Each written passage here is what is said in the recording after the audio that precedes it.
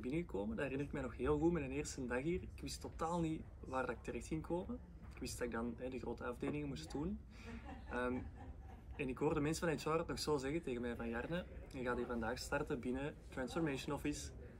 Wat ik daar toen van wist was, oh nee, dat is IT. Dat is in nulletjes en in eentjes denken. En ik ga niet zeggen dat ik er schrik van had, maar ik stond er toch wel heel sceptisch tegenover, want ik heb nooit iets in IT gedaan of gestudeerd of whatever. Dus ik wist niet goed wat ik moest verwachten. Maar uiteindelijk, na daar zes maanden meegelopen te hebben, heb ik ontdekt dat Transformation Office eigenlijk zoveel breder is dan die nulletjes en die eentjes. Daar zit ook een, een strategisch luikje aan, hè. vandaar de naam Transformation Office. Ik zelf zat bijvoorbeeld bij architectuur en de architecten van Balwaze die denken eigenlijk vooral na over de toekomst.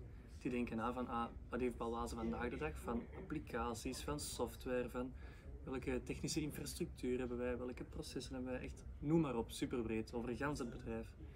En die denken eigenlijk na van ja, waar moeten wij als bedrijf binnen drie jaar staan, binnen vijf jaar, binnen tien jaar.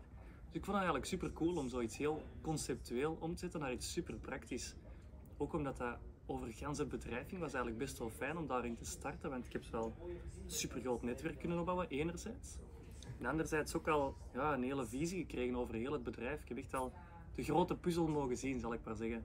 Dus dat was voor mij echt wel heel aangenaam om toch te weten van oké, okay, dat is hier niet op een eilandje werken en super technisch werken. Nee, dat was echt heel tof. Heel veel bijgeleerd uiteindelijk.